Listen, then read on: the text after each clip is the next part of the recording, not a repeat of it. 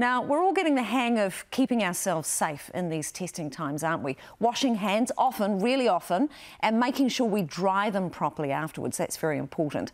Sneezing into our elbows, you know, staying home if you're unwell, and physical distancing. But what exactly are the rules around distance? How far apart do we need to be? Carolyn Robinson has the answers. So the official advice from the Ministry of Health is to keep a distance of two metres apart. Two metres, so that's... Tori, hold that. That's where you're allowed to film me from. That distance is quite a lot and certainly more than we're used to. So what's the best way to visualise two metres? I've got an idea. This enormous 17th century style hoop dress is big, one and a half. But with no four metre diameter frocks, this is the biggest one they've got. I do not see how I am going to fit in there. It used to be a tight fitted Auckland restaurant, Cibo, too.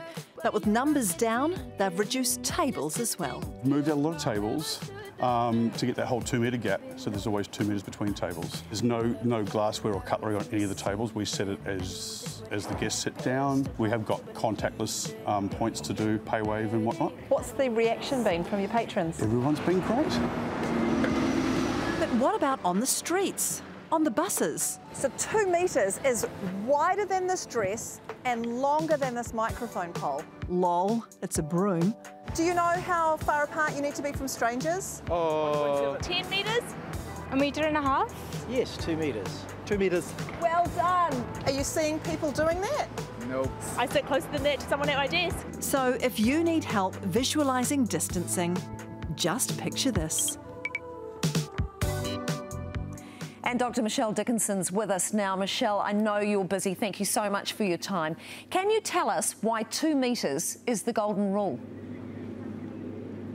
Yeah, so this has come from the CDC, the Centre for Diseases Control, and two metres is right now what the evidence shows around social distancing, where we know that coronavirus is spread by what we call droplets, and so we've been able to track, or scientists have been able to track how far those droplets can go in different situations, so coughing, sneezing, and that two metre distance seems to keep people as safe as possible to try and reduce the amount of transmission, meaning if you stand two metres away from somebody and they are infected, it is less likely that they will be able to transfer that virus to you, which is the whole goal right now is to stop the virus from spreading. There are so many situations where we're required to be within two metres of people. I'm thinking of Jeremy and I on the couch, for example. How do we navigate that?